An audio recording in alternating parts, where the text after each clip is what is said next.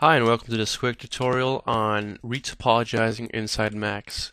So uh, I had a little bit of trouble uh, figuring all this stuff out, so I figured I might as well do a little video tutorial for people who, you know, maybe wanted to learn this as well. Uh, it's actually really simple and really awesome. Uh, it can be a bit buggy still, but I think by Max 2012 that should be fine.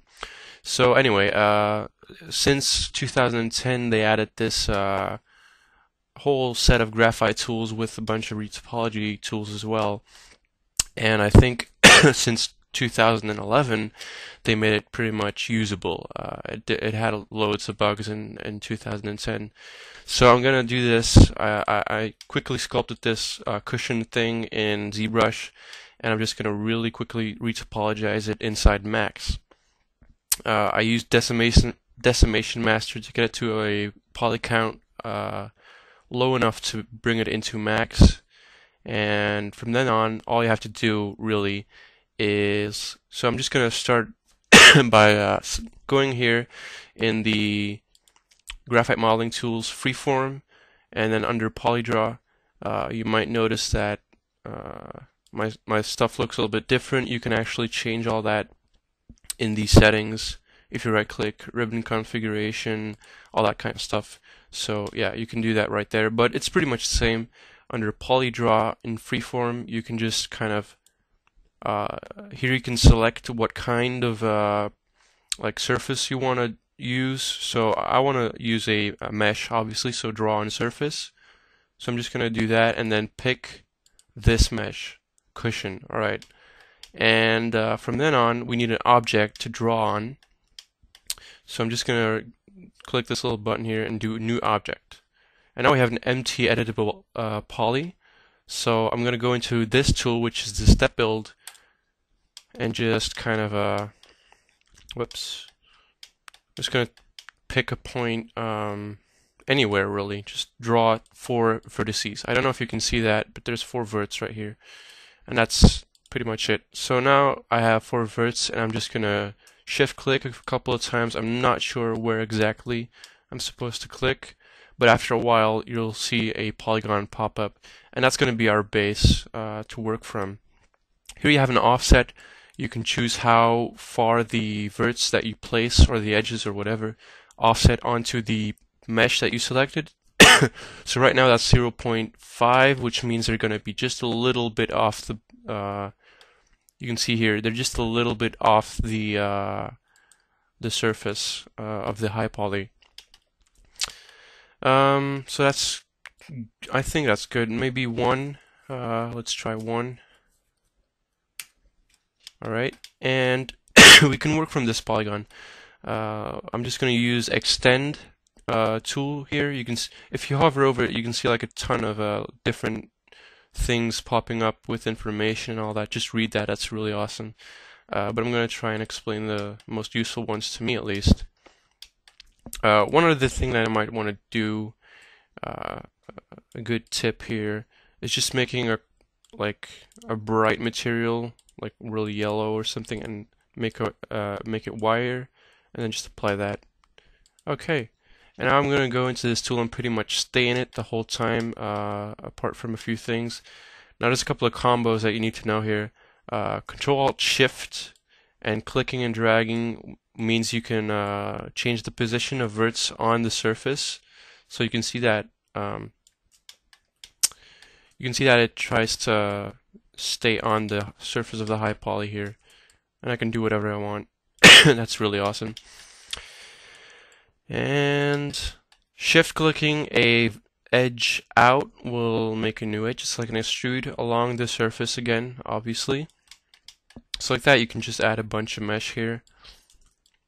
Just kind of control shift uh, alt click to tweak the verts. That's good. Gonna move these a bit down. Come on there we go. And just going to extrude a few here to work from.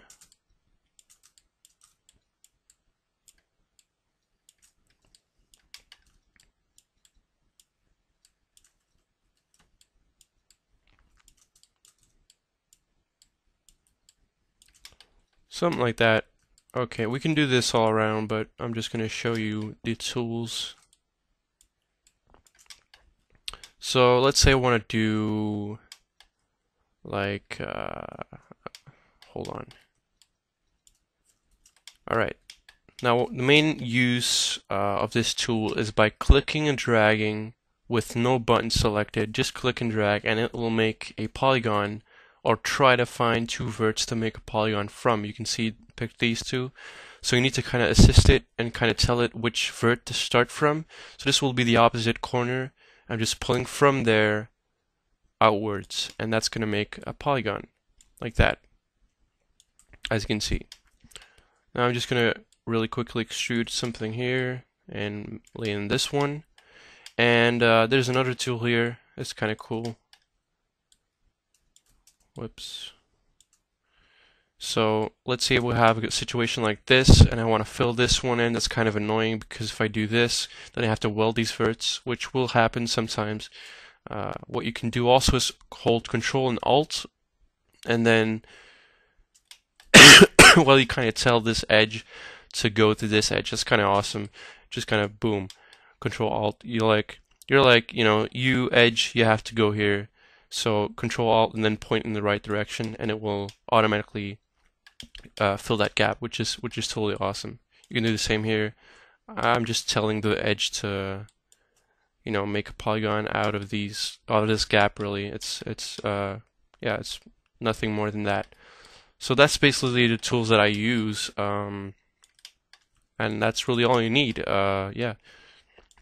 Occasionally, you're gonna have situations where you have to weld, and um, that's that shouldn't be much of a problem. Let's see if I can create one of these situations.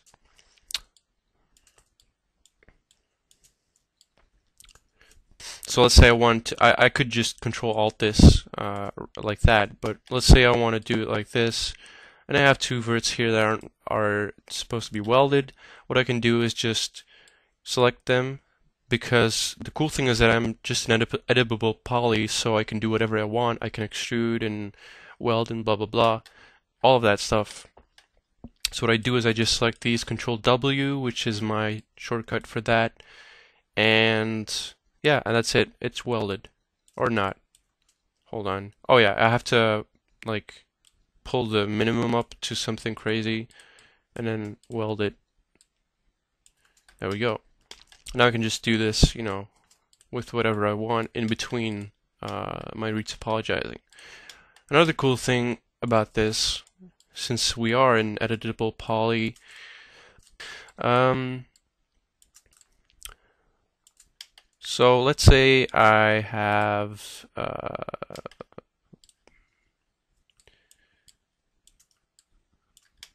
like that and then yeah, this is a situation where I have to weld them but I have a little bit too few topology here and I want to add a little bit no problem I can just press uh, whatever shortcut you have selected for the Swift loop tool which is right here it's totally awesome this tool you should totally map it to some key for me it's T I just uh, shift click it and it's automatically going to kind of uh, well it's going to add a, a, loop that you can actually preview like this. You know, you can like see what you want, and then when you shift click, it's going to do a flow connect, which is something new in the graphite tools as well, which will kind of uh, adjust to the flow of the of the uh, the mesh. So a flow connect is going to make it like smooth, you know, which is also extremely, extremely, extremely useful.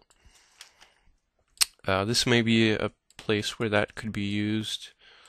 Like you can see this is way too stretched and stuff, so what I do is just press T and there we go, and I can continue retopologizing very quickly. And yeah, I've been using this for the past two days like nonstop and it's really cool. Uh, there's a few um, situations where you might have a, uh, a crash uh, if you do something weird. Uh, I can't really explain it precisely why or when but um, when you do this, I do uh, very much suggest that you do take some backups now and then, or save in iterations. Uh, definitely uh, because it isn't perfect yet, and there are some bugs, but it's definitely very, very useful. So yeah, I'm not gonna do this entire thing on screen, but that should get you uh, fairly far. Uh, it's very straightforward. There's a bunch of different tools as well here, but none of them are really that useful compared to the, the extend and step build. Um, let's see. Yeah, that should be it. you can actually, oh yeah, that's a cool one too. You can actually, if you have a tablet,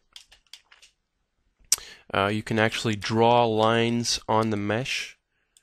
As you can see, I'm just drawing. Uh, I'm not using my tablet right now, which is white. They look kind of weird.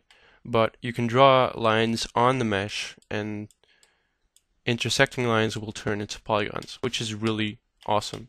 Uh, if you have a, a, good hand and you have a tablet, this, this could really save some time. Uh, that's this tool, uh, like the little ball with the pencil and the polygons. Uh, topology again, uh, just read up on these. It's really, really, really easy to use. Uh, if you just hover over it and read, then you can really just uh, be quick with that. Or you can F1 and just read uh, up on it like that. Polydraw panel. There we go. We have everything here. Awesome. But yeah, I basically told you the stuff that you need to know to, to get pretty far. Um, so yeah, thanks for watching. I hope this helped.